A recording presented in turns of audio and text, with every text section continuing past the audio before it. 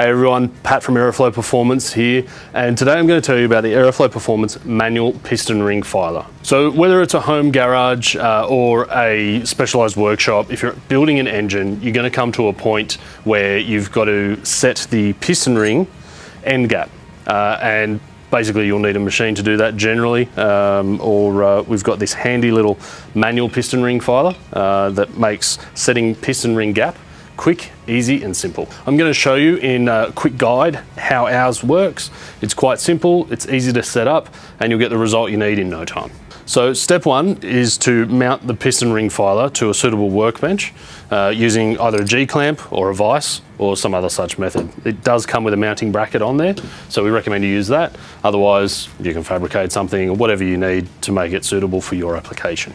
So step two is to insert the turning handle into the filer and then basically set it with the set screw so that that's operational and ready to go. So step three is to take your piston ring, place it in the, in the filer against the two end stops and then lightly squeeze the two ends square against the cutting wheel.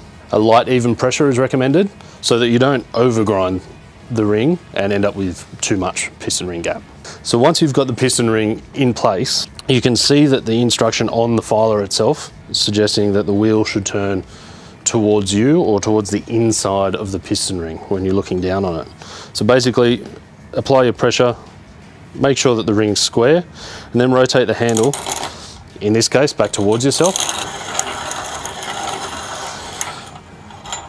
You'll adjust the, uh, adjust the end gap, then you can check and then refile again if required. It's important to note that this disc is a 120 grit cutting disc, so it does cut fairly quickly, especially if you've got a, uh, a, a lighter duty piston ring. Um, so make sure that you don't go too crazy, don't use a drill in the end of the handle or something like that to speed the process up because there's a good chance that you will overshoot your mark uh, and you'll be out of a piston ring. So once you've done that, take the piston ring off, check the spacing in your engine block, um, you know, in the cylinder, make sure that the gap is where it needs to be, and then you can move on to the next one. It's as simple as that.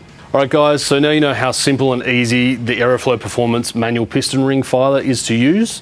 You can check it out at your local distributor, quality retail outlet, or jump online at aeroflowperformance.com.